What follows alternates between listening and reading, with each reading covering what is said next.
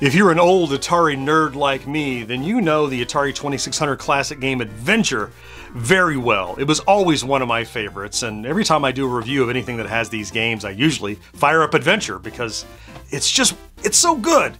It's so good. But if you're not an old nerd like me, you might only know it by its reputation as having the first ever Easter egg, but it's so much more than that. Hey there, welcome back to Gen X Grown Up. I'm John and I am a Gen X Grown Up. And in this continuing little mini series of playing through some of my favorite 2600 games, I finally come to Adventure. Uh, look, it's three dragons, three castles, and a chalice. It's a really simple game. Would you believe, you might not if you have never played it, this is the whole map. That's it. For some reason, I think people approach Adventure and think it's very cryptic and very difficult to play. It's super easy, and it's the simplicity of the game with the randomization that makes it so much fun for me. And of course, the thing I talked about, reputation, is that the Easter egg that Warren Robinett put into the game, it was actually discovered after he was gone from Atari, so they couldn't do anything about it. The cartridges were already out there, and it was all it was like that time when Activision was about to form because Atari was not giving any recognition to the developers who designed the game. And Robinett said, Oh, no, you don't. I'll make it happen. So I'm going to take Adventure. I happen to have my uh, my XP, fancy XP version of Adventure here. We're going to plug it in. I'm going to play through the whole game. Yeah, we're going to finish the game, but we're also going to get that Easter egg. Let's get after it. So here's Adventure, fired up. You're greeted with the opening room and a number one in the middle. It's because there are three game variations. Game Variation 1 is like a beginner's game. It's like, oh, the, everything's in the same place and the, the entire kingdom is really little and it's easy and there's no mazes. 2 is the expanded full kingdom, but everything is in a predictable place. It's the same place every time. So once you've played 1 and 2, 3 is the one you're going to play every time after that because otherwise it's predictable. You know what to expect. Uh, also, there's some difficulty switches. There's enough challenge to adventure already uh, one of the difficulty switches makes the dragons attack you more fiercely, and the other one makes the dragons afraid of the sword, which makes it difficult to ever kill them because they run away from it. But anyway, both difficulty switches on B, game variant 3, hit start, and away we go. So you always start here at the Gold Castle. There are only two real regions to go to there's the White Castle Kingdom in the southeast, and the Black Castle Kingdom in the northwest. So uh, let's start with the White Castle. We'll go southeast, see what's down here. And because we're playing three, again, everything is randomized. We don't know where we're going to find anything. Uh, there's the magnet that attracts other objects. There's the gold key. Go ahead and grab that for now. And you only carry one object at a time, right? So there's the bridge. So see if you let go of it, it attracts over to the uh, magnet. That can be really handy for getting things that are stuck in walls or. Then there's this damn bat who always takes the thing you're using. So for now, I'm going to try to use the so I can carry the bat. I'm going to go take the bat, use to unlock the gold castle since he's carrying it. There we go. Ha ha! and let him go. Now he's probably going to go try to take another key from me. So head back. I think he dropped off the black key. Yeah. All right. Well, if that's what we've got, let's go take this to the black castle. The great thing about keys is once you use them to unlock their appropriate castle, bat, once you use them to unlock the castle, they're really just bat bait. You're just using them to get the bat's attention.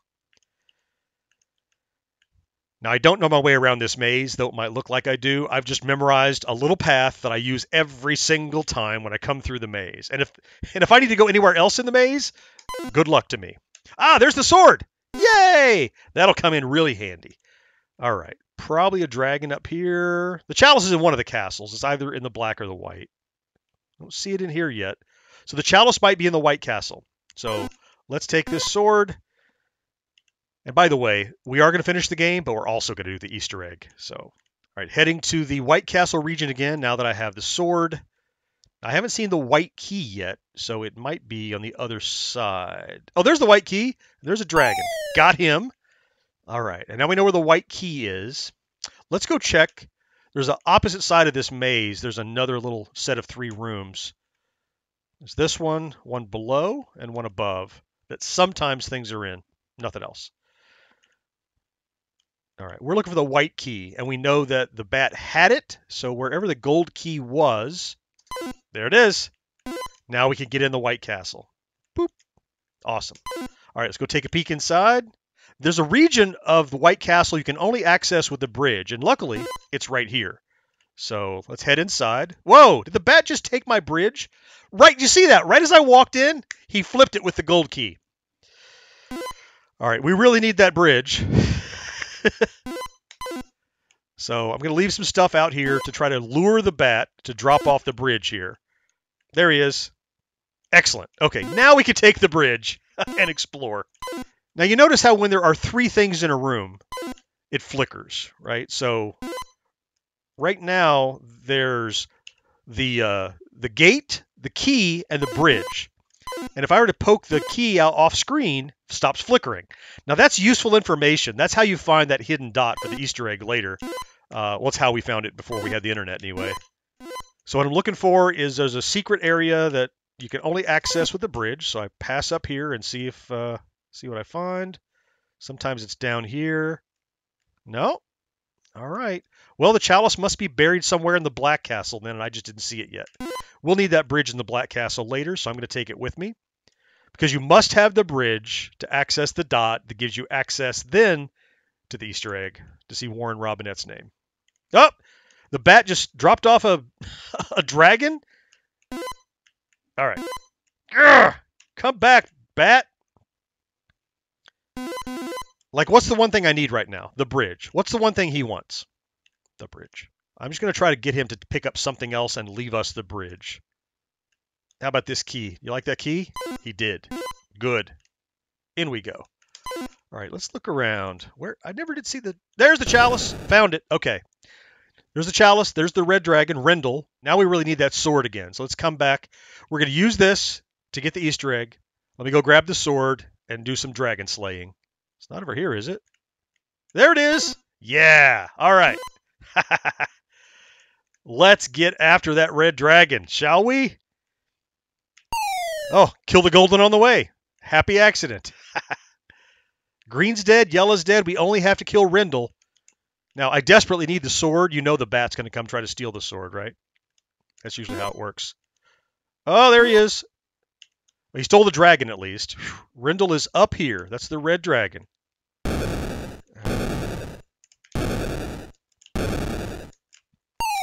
Got him. Now that flicker has a negative impact on us because sometimes it interferes with hit hit detection. You saw it was kind of tough for me to kill him. He's blocking that entrance. But we gra grab our chalice. Okay, chalice is here. Now, we have two things left to do. Find the Easter egg, dragons aren't a problem anymore, and finish the game. Now, I'm not going to stop this video, but as I mentioned many times in my videos, we have a merch store. if you're looking for cool Atari kind of themed shirts or nerdy shirts, please stop by genxgrownup.com slash merch. Everything you purchase over there, whether it's a t-shirt or a phone case or a magnet or a pin or whatever, a sticker, it benefits Gen X Grown Up and it goes right back into the channel. So please pop over there if you would and find something cool for you or somebody you like. And uh, yeah, I'd appreciate it. Okay, now let's start with the Easter egg. This is really cool. So I love this Easter egg. So the way to do it is there, it's twofold. You must have the dot and you must have more than three things in the room where you're going to work. So I know the way to the secret little room. All right, right down here is a room you can only access with the bridge. So I'm going to come down here and in the very right hand corner, listen. Well, what is that? See that teensy weensy one pixel dot? That's the secret. We need that in order to get to the Easter egg. So heading back out. Now we have the dot. Now you can't see it because it's gray, but it's right there. So we take that dot to the eastern room above the White Castle Kingdom. See how it made that uh, that vertical line invisible? See how it's not there when that's on screen? See my little dot that you can see in the green right there? So it does the same thing, but on the eastern wall, that's where we're going to do the work. We have the dot, so we never need to move the dot again. I'm going to leave it right there in the wall. There's two things. We need a third thing in this room to make everything flash. I'll grab the magnet, or whatever you leave me, Bat. Just take whatever you want. Everything I pick up, he wants. Here we go. This is it. Pass through the wall. Boom. Warren Robinett put his name into adventure right here. But to do it, you've got to find the single pixel dot. You've got to bring three items to the room. You have to know where to look. You have to know where to put stuff. And even though Atari wouldn't give him credit, he got his name into the game, which I think is fantastic. And it started a tradition that we love to this day. All right, let's finish the game. Go get the chalice. Bring it back to the gold castle here. There's one of two ways to do it. I have a preference. You can either push the chalice into the room or you can pull the chalice into the room.